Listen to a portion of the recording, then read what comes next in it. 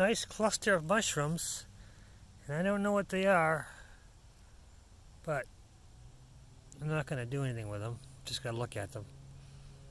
If I can figure what they are, I'll put the identification in the title, and if I can't, well, title will say unknown mushroom. Kind of cool looking. Close-up view. Oh, kind of purpley in the video.